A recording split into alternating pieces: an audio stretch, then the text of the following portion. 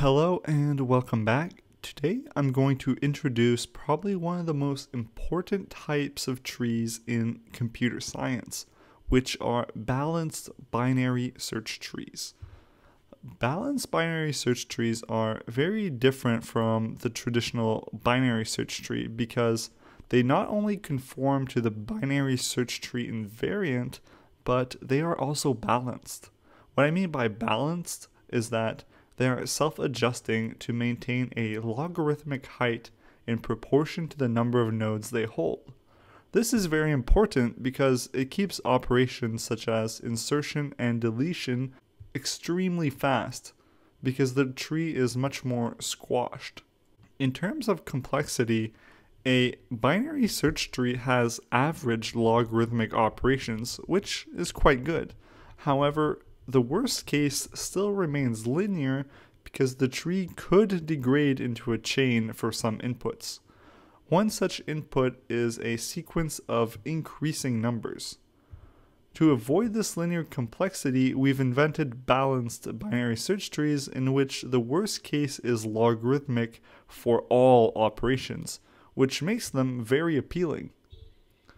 Central to how nearly all balanced binary search tree implementations keep themselves balanced is the concept of tree rotations, which is going to be the main topic of this video. Later, we'll actually look at some specific types of balanced binary search trees to see how these rotations come into play.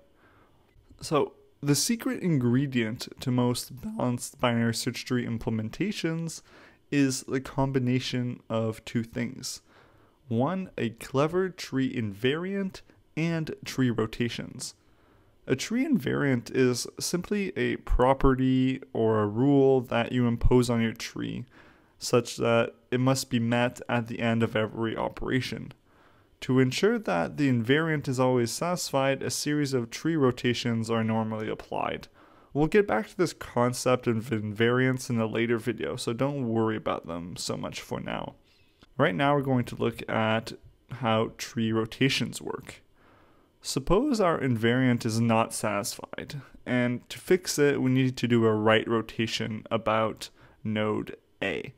Assuming node A has a left child B, we can perform a right rotation to put B where node A was and push node A down to become B's right child.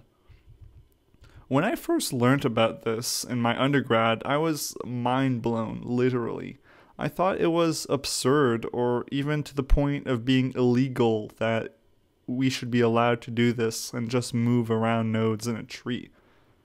But what I've realized since is that a transformation like this is totally legitimate since we're not breaking the binary search tree invariant in any way. If you inspect the left tree, you'll discover that in terms of ordering and placement, node D is less than node B is less than E is less than A is less than C.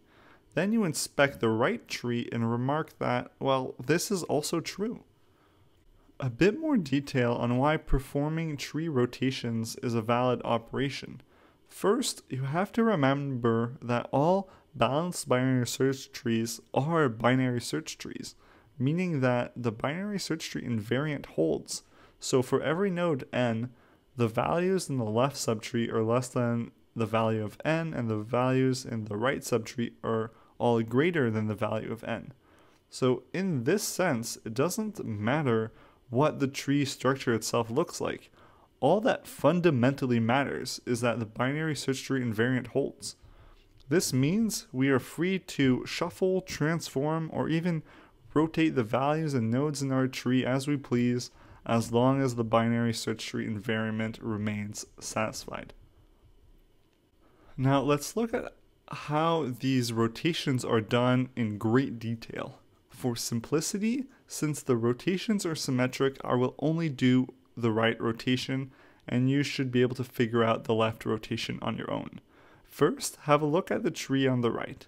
Notice that there are directed edges pointing downwards and another node P above A which may or may not exist. This is why there is a dotted line on that edge. If node A does have a parent node P, then it is important that we take it into account when doing the rotation. In either case, we start with a pointer reference to node A. This is the orange arrow. Then we'll want a pointer to node B. After that, set A's left pointer to point to B's right child. Then change B's right pointer to point to node A, and we've successfully done a right rotation.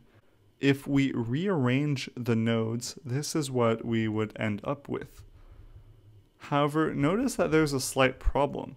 If node A had a parent node, then either the parent's left or right pointer would still be referencing A. This is problematic since B is A's successor after the rotation. So we change the link to now point to B. This step is usually done on the recursive callback using the return value of the right rotate function. We just finished looking at the case where each node has a reference to the left and the right child nodes.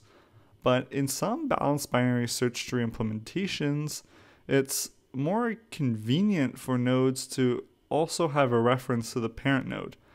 This complicates tree rotations because now, instead of updating three pointers, we need to update six pointers.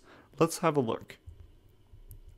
In this case, where we also have a parent link, every node is, in a sense, doubly linked we start off with a pointer referencing A, and the first thing we'll want to do is also reference node B and node P, so we don't lose them as we shuffle around pointers.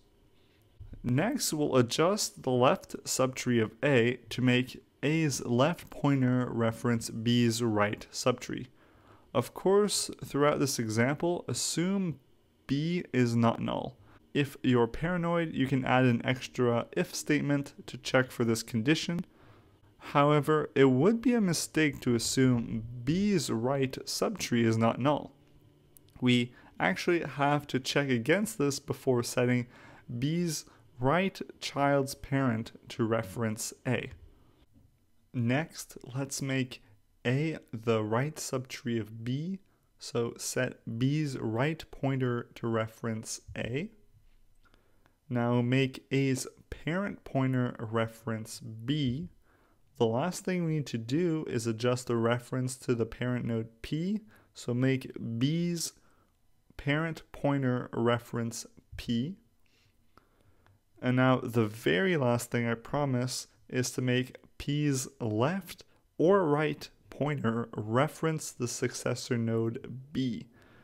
Notice that we need to check if P is not null because it might not exist.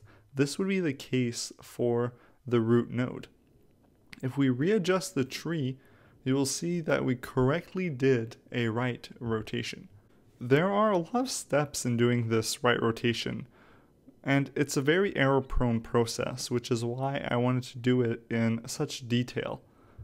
In the next video, we'll look at how we can use these tree rotations we just learned about to insert nodes into an AVL tree. Thank you for watching. If you learned something, please like this video and subscribe for more mathematics and computer science videos. Thank you.